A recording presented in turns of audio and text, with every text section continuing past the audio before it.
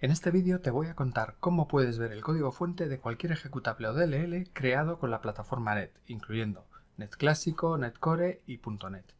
De este modo podrás analizar el código de los programas y entender cómo funcionan aunque no tengas el código fuente. Vamos a verlo. Lo que te voy a contar sirve para .NET, pero se puede conseguir lo mismo para casi cualquier lenguaje o plataforma y es igual de fácil. Por ejemplo, en la plataforma Java. También ten en cuenta que se pueden tomar medidas para impedirlo usando herramientas especiales llamadas ofuscadores, que complican tanto el código que no te sirve de nada obtenerlo de la forma que te voy a contar hoy, ¿no? Pero esto es tema para otro día. Hoy vamos a ver cómo decompilar fácilmente código.net. La herramienta que vamos a utilizar se llama ILSpy. Hay más, pero esta es de las más conocidas y además es totalmente gratuita y open source.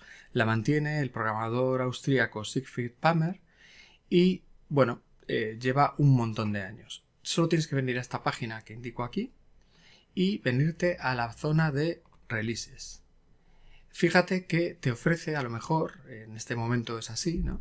una versión preview que a lo mejor no es todo lo estable que debiera, con lo cual yo te recomiendo que te bajes la última versión estable. Para ello, si te sale una preview o una beta aquí, lo único que tienes que hacer es ir hacia abajo hasta que te salga una que no lo ponga. Por ejemplo, en este caso, la última es esta, y el SPY 62.1.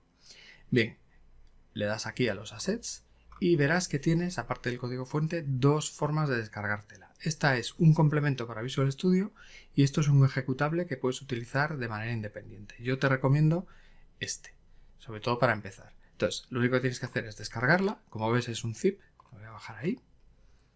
Bien, ahí está. Tengo aquí abierto. Y lo único que tienes que hacer para usarla es descomprimirlo. Lo voy a descomprimir aquí. Y listo. Esta es la herramienta. La puedes añadir al menú de inicio donde la hayas copiado para luego poder utilizarla siempre. Y lo único que tienes que hacer es doble clic y lanzarla.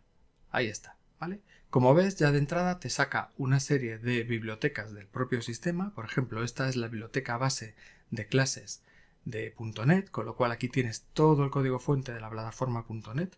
Esto tampoco es ninguna novedad porque realmente lo tienes ya open source en GitHub, pero puedes examinar cualquier clase o cualquier elemento de código de .NET y ver cómo está hecha.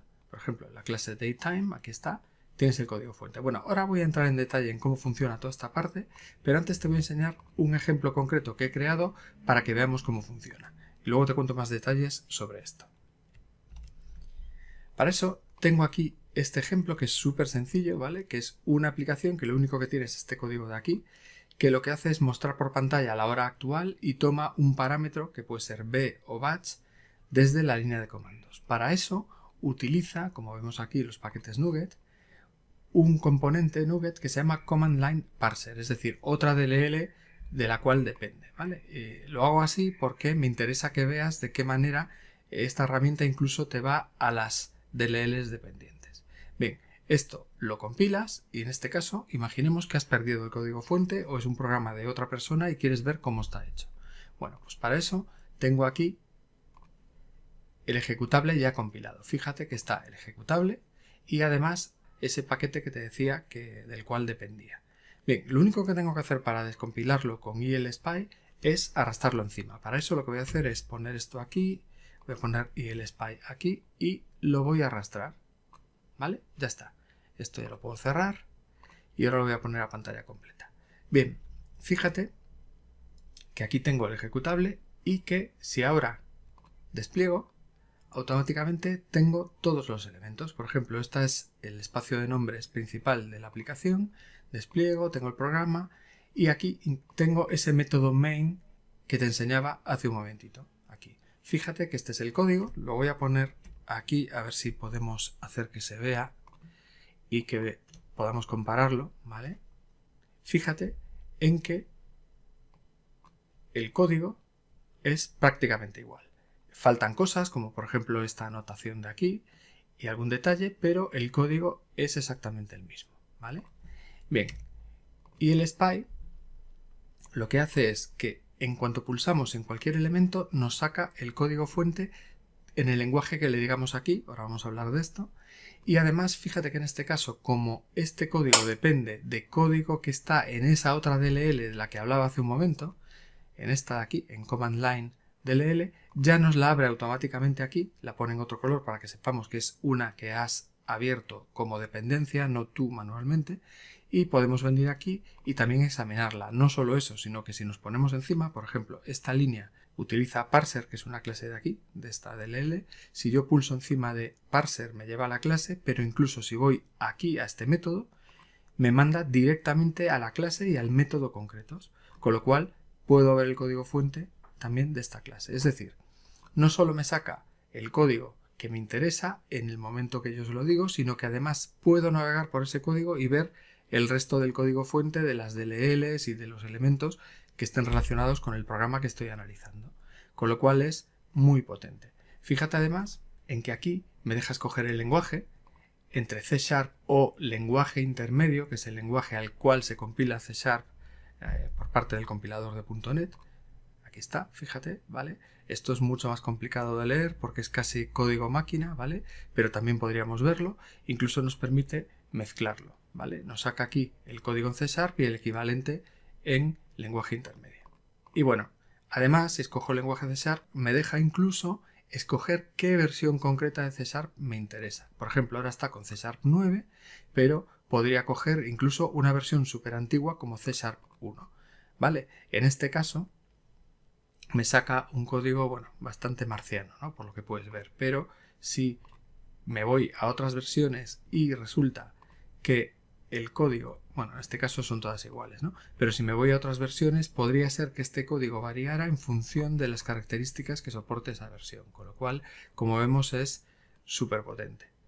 Bien, aquí puedes, una vez que terminas de analizarlo, puedes coger y simplemente seleccionarlo, incluso más de uno a la vez, y darle a suprimir para borrarlos. Esto vuelve a ser el código fuente de la plataforma. Aquí también puedes hacer que te abra las DLLs que tú quieras directamente cargándolas desde aquí, este botón, Manage Assembly Lists o desde aquí, que es lo mismo, ¿vale? Entonces, dándole aquí, lo que puedo hacer, bueno, aquí me saca unos cuantos conjuntos de DLLs para poder cargar, ¿no? Por defecto, por ejemplo, las de Net 4, incluido WPF, Net 3.5, ASP.NET, MVC3, estas son todas de la plataforma Net clásica, pero fíjate que, bueno, aparte de poder crear las mías propias y luego cargarlas automáticamente cuando lo necesite, simplemente escogiéndolas aquí, puedo escoger desde una lista preconfigurada.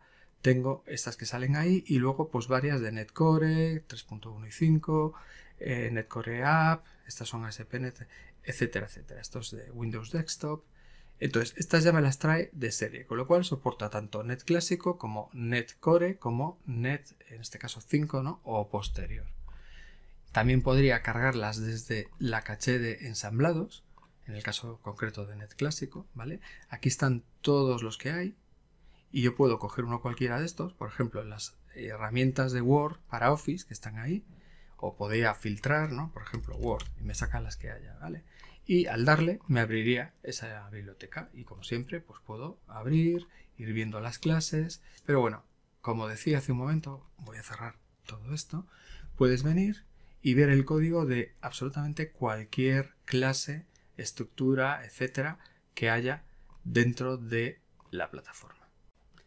Bueno, como decía, esto es muy interesante para aprender, para depurar e incluso para salvarnos de algunos problemas de vez en cuando y no es algo exclusivo de .NET, porque pasa en otras plataformas. En otra ocasión podemos hablar de cómo evitarlo usando unas herramientas específicas llamadas ofuscadores. Espero que te haya resultado interesante y te haya abierto un nuevo mundo de posibilidades. Adiós.